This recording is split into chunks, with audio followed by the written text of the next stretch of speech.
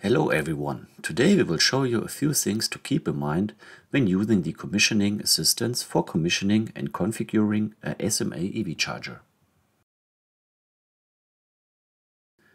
For your safety, please always observe all safety information in the manuals for each individual product. The commissioning assistant makes commissioning quick and easy. Please note that the process can only be carried out once.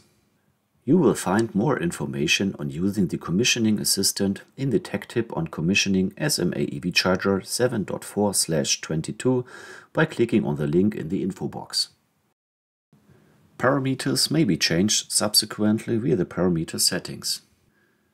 You can find these on the user interface of the SMA EV Charger once you have selected the device under Configuration, Parameters or Configuration, Device configuration. It is particularly important that you set the nominal current of the point of interconnection parameter correctly to ensure that the power outrage protection is controlled correctly. To ensure that the supply line to the SMA EV charger is not overloaded, the parameter AC current restriction must also be set.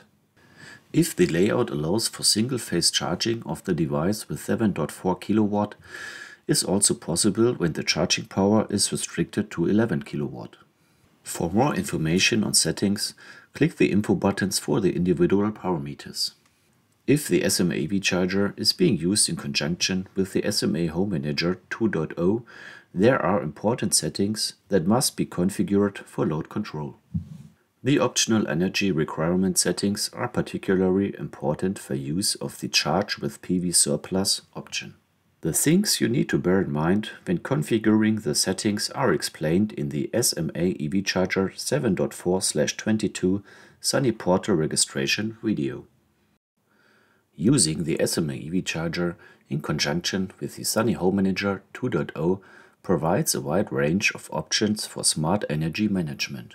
It is also possible to use the SMA EV Charger without the Sunny Home Manager 2.0. To do this, deselect the Operation with Grid Connection Point Meter option when setting up the system. In this case, only boost charging mode can be used. Make sure that the switch on the SMA EV charger remains switched to boost charge in this case. If you are using the SMA EV charger with the Sunny Home Manager 2.0, you can choose between three charging modes. The SMA EV charger prioritizes the charging of your vehicle differently depending on the charging mode you have set. In boost charging mode, your vehicle is immediately charged with the maximum available power.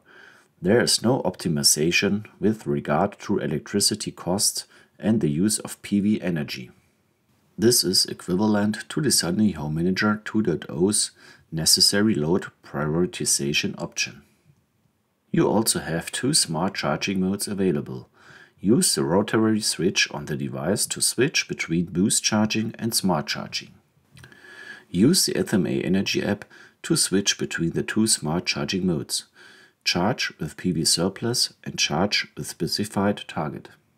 In charge with PV surplus mode, your vehicle is charged with excess PV energy that would otherwise be fed into the utility grid or cut off. This is equivalent to the Sunny Home Manager 2.0's optional load setting. In charge with specified target mode, the SMA EV charger is operated as a necessary load with as much surplus PV energy as possible.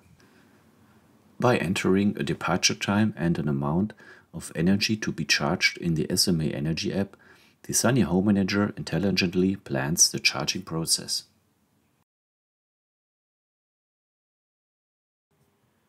Along with these case settings in this video, we would also like to tell you about the SMA EV Charger's new functions. From firmware version 1.02.r, you will have functions for multi-EV charger operation, charging lock, and setting the brightness of the LEDs. The multi-EV charger operation function allows you to connect up three SMA EV chargers, mixed systems with single-phase charging stations and three-phase charging stations are possible. In multi-EV charger operation mode, all charging stations must be connected to the utility grid on a rolling basis. The Sunny Home Manager provides the charging stations with information on the number of active charging stations every minute.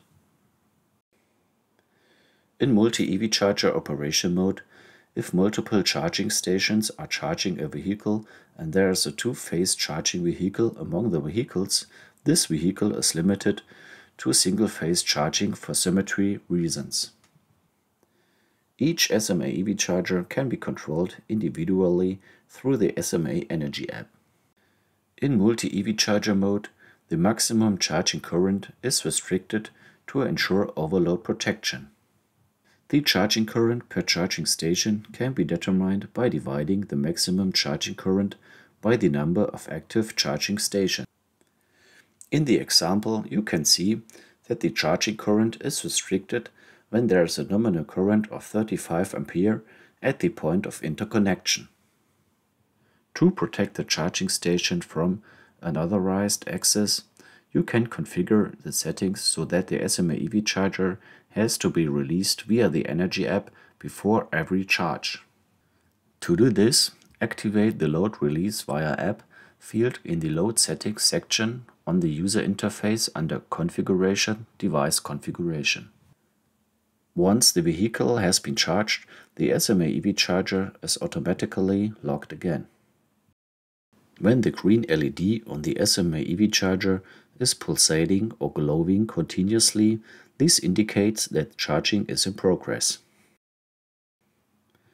To set the brightness of the LEDs, log into the user interface, select Configuration Parameters and set the brightness of the LEDs parameter in the device parameter group to the desired level.